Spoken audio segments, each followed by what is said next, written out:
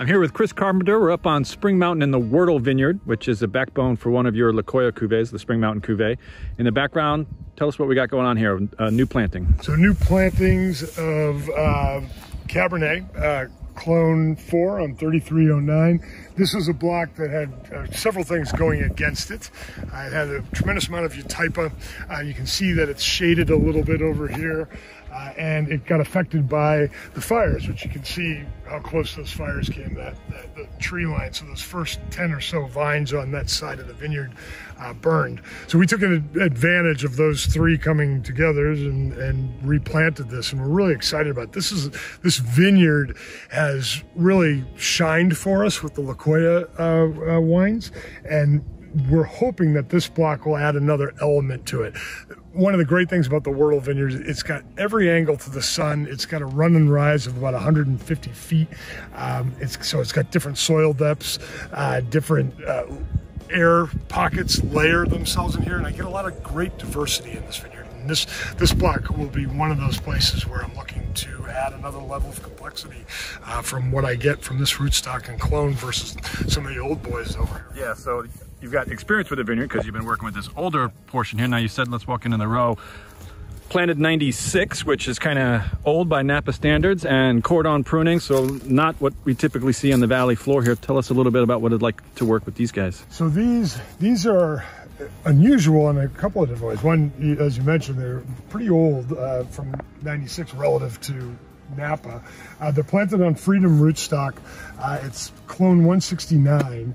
Uh, so very vigorous rootstock, um, a somewhat devigorating clone, but you can see, I mean, you see the size of this trunk. Uh, now this is a, a Eutypa effect over here, but this is a really thick trunk, uh, good sized cluster. Uh, this is one of the very first vineyards for us in my portfolio of wine of mountain wines that ripens and a lot of that has to do i think with not only the age of these uh, vines but this again this terroir that we're in it stays a little warmer here. It gets a little more sunlight.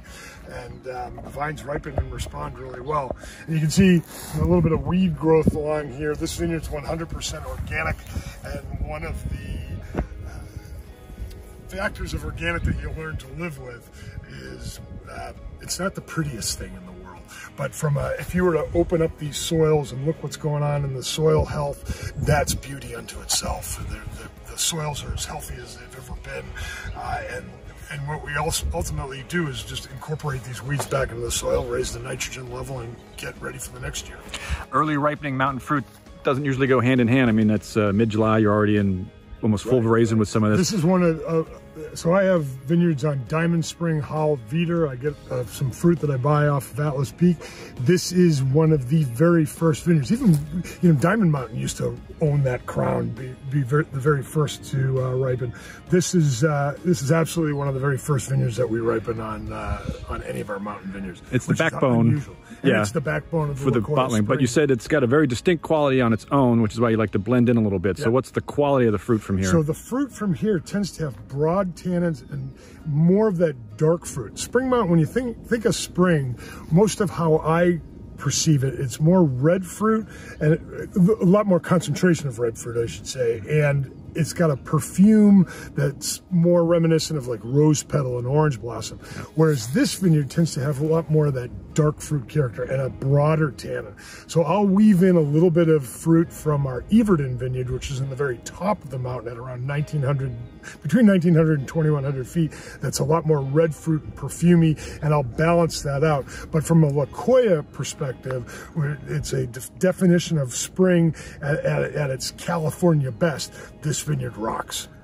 Chris Carpenter, known as the mountain man of uh, Napa Valley for all those mountain AVAs he plays with.